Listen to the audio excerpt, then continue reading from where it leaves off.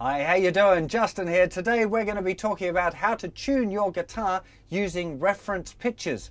Now, by reference pitches, I mean that you're going to be getting the sound source from somewhere else, i.e., not a tuner kind of thing.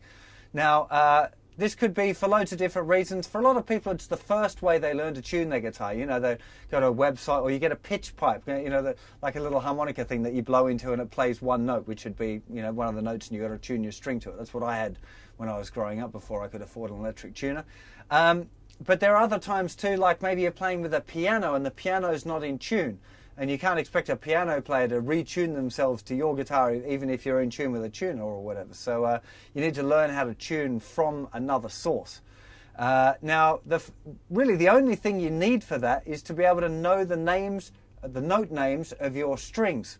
Now, maybe many of you will know that already, but uh, for those of you who don't, starting from the thickest string, it's an E, an A, a D, a G, a B, and an E. Now it's really important that you remember those note names, of course. There's a whole lesson on that using funny little rhymes and stuff, so go and check out the website if you're not uh, familiar with the names of the notes of the strings. But uh, what you need normally, you'd need to ask someone to give you a note. So you would say, hey man, can you give me an E so I can tune up, please? And they're going to play a note E. But on the guitar, there are lots of different E's, what we call different octaves. So this is an E this is an E. And even though they're both E's, and you could in theory tune one off of the other, if somebody gives you an E and it's way different to the one you were expecting, you could always ask them to give you a lower E or a higher E. Right? Sometimes that might not be possible, sometimes it will be. Okay? If you're using uh, pitch pipes, you'll have two E's on there. One will be the low one, one will be the high one. So if you play one and it's really high, then it's the one that you're going to use for your thinner string. And if it's kind of low, it'll be the one used for your thicker string. Now you can also use this reference pitching like on my website. I've got little sound files for you. So if you want to tune up, you just hit the one that says E and it'll play the E note a few times. But there's also a little bit of technique involved with this that I want to mention to you. So one thing you want to do is not try and play at the same time as the reference pitch.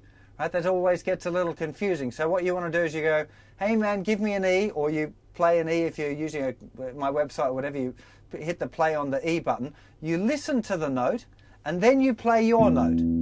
And you try and listen to whether your note needs to go up or down. Right? Sometimes it can help to sing it. So see, if I'm uh, if I'm tuning the pitch A, just detune this a little bit, and I've said give me an A, and I've heard that, and then I play mine go, oh, it's lower. Uh,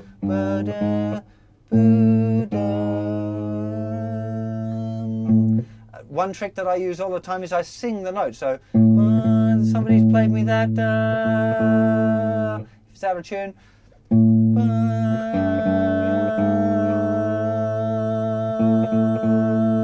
So learning to sing one pitch and hold it kind of steady while you tune up is not a bad little trick for it either. You don't have to, right? I, I didn't do the singing part for many years actually, to tell the truth. I was just kind of, you know, struggling along with my little kazoo pitch pipe things, and uh, I'd play a note and fiddle about. Now it takes practice. A lot of guys kind of get a bit disappointed that they couldn't tune up straight away, but tuning the guitar takes practice, just like everything else, like getting chords and learning scales and getting your picking good and all of that sort of stuff takes practice. So don't be disappointed if you can't tune your guitar straight away.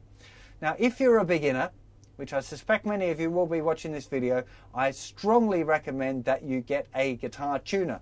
They're relatively inexpensive these days, and it means that when you play your guitar and when you're practicing it, it's going to sound nice, right? So if you can afford to get yourself an electronic tuner, any electric tuner, right? That it's it's a lot better idea than trying to do it by reference pitches. Reference pitches, great idea, useful skill to learn, as is a couple of the other techniques that I'm going to show you later on in this series. But really, if you're a beginner, get yourself a tuner. It's a it's a, it's a really good idea. So uh, I hope that helps you uh, in your quest to get your guitar in tune, and I'll see you plenty more lessons very soon. Take care of yourselves. Bye bye.